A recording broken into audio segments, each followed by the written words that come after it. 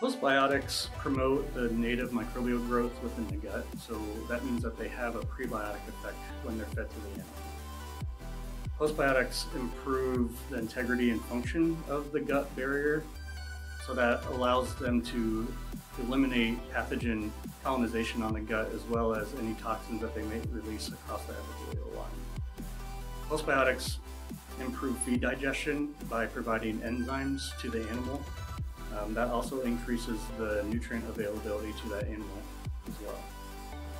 Postbiotics modulate the systemic metabolic responses by increasing synthesis of protein as well as uh, metabolic use of energy uh, for the animal towards production.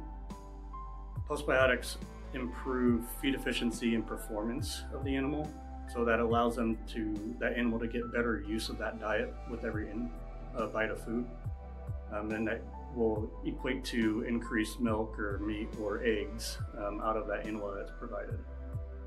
Postbiotics support antimicrobial effects. That allows that animal to fight off any pathogens or, or toxins that may be released um, from part of the diet or from anything that's exposed to in its environment. Postbiotics modulate the immune response um, by providing anti-inflammatory and antioxidant factors within that fermentation of the product.